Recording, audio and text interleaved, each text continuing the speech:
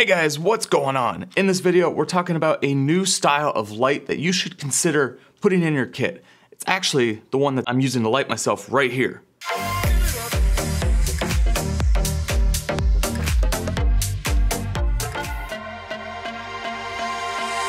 Okay, so this light is called a flexible light. And essentially what it is, is an LED light that lays completely flat. However, you can use it in two different ways. You can use it just as a flat laying light, or you can build like a softbox around it. So right now I have the light strip right here and it's got the softbox around it so it's lighting me. That's what I'm using for my key light right now. And this specific one from Falcon Eyes is a long light strip. So it's super long and not so wide. It's more of like a narrow light, which gives you some more opportunities to do some pretty cool stuff in terms of lighting. So I wanted to show you guys this light. I wanted to show you why I've added this one to my kit because adding a light strip and adding a light matte style light is huge.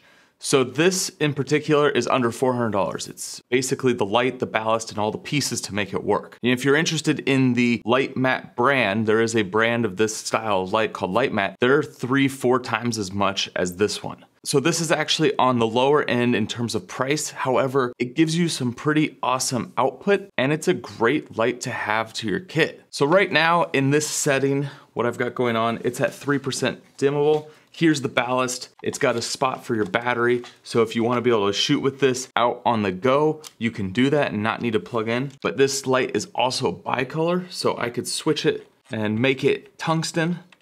I can also bring it up to 100%, which is bright. But as I have it built out here, it gives a nice kind of soft, even light that works well for say like an interview style lighting like this. Now, the beauty of a light mat, the beauty of a flat laying light is that you can use this in a lot of different situations. So recently I was shooting for the California Figs Association and we had to shoot in a kitchen that was tiny. I didn't have a chance to see the location beforehand, so I kind of had to prep for anything. And what I did is I brought the lights that I normally work with. So I got my Aputure lights, I've got a few Kino 4x4s. Having a flat laying light gives you the flexibility that you wouldn't necessarily have. So when I went into this situation, I could put lights kind of around the cameras and around this the subject, but there was an issue. I couldn't get anything back behind where it is that we're shooting. It was basically a stove, there's a sink, and there was just nowhere to place the light.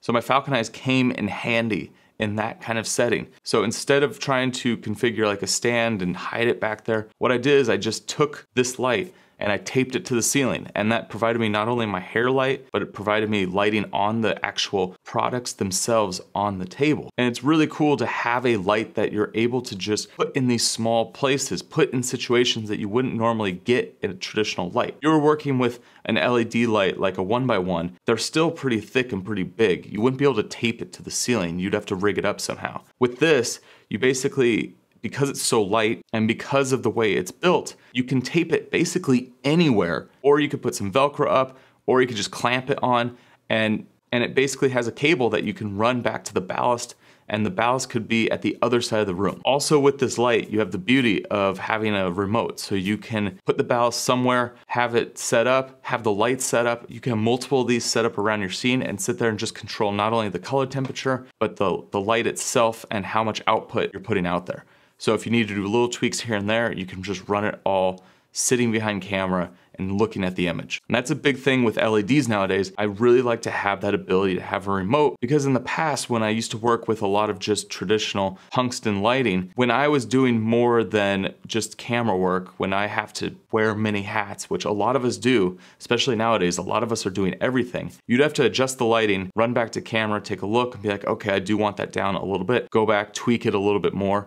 So it, it just saves you time, it saves you money because time is money. So let's talk about this light in particular. Okay, so the Falcon Eyes, I'm gonna grab the name. It is the RX29TDX bicolor. I will put this in the description so you have a link to that. But essentially this light has a bunch of pieces going on and beyond the light, you get all the extras. It comes in a bag that's about 40 inches long and it actually, when it's all said and done, it's not like super compact like you'd think. So if you're taking every everything with you, all the pieces that are involved with this light, it actually is has a pretty big footprint. However, you don't have to use all the pieces. So what it comes with is the light mat, it comes with the softbox that goes around the light mat, it comes with the different fronts. You get your soft diffusion, but you also have your grid, and the grid will actually direct the light even more. And then on top of that, you have the back, which is basically a bunch of bars that allow you to put the light on a stand. You got your stand hookup, which works with most stands. You got your ballast and you got your cables.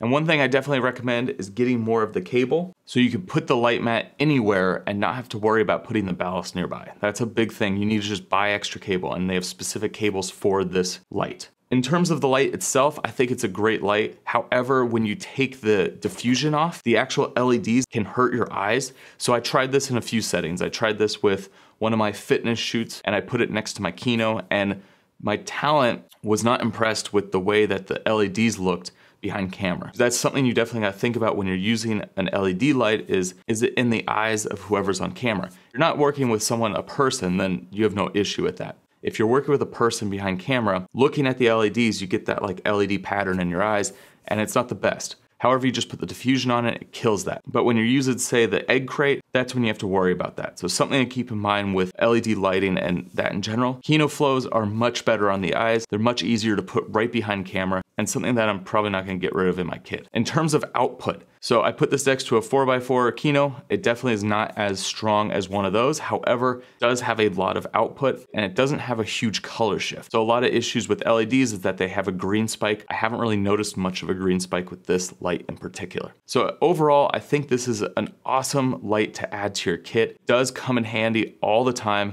Being able to put a light in weird spots in places that you wouldn't normally be able to get a light just makes things so much easier. So you can add light to your scene where you didn't think you were gonna be able to add light. Falcon Eyes makes a really good product. It's cheap and it's something you could definitely add without breaking the bank. All right guys, that is it I hope this was helpful in showing you a different style of light, something different, something unique. If you're new to this channel, make sure you hit that subscribe button. Got a lot of awesome filmmaking tutorials. I've got some cool reviews. There's also a ton of travel content. Guys, we're doing some cool stuff coming up in the next few months, so you're not gonna wanna miss it. Make sure you switch on those bell icon because then you'll get my notifications sometimes, depending on when YouTube wants to give it to you. And last, come check out my Instagram at Jeven. And guys, I will see you on the next one.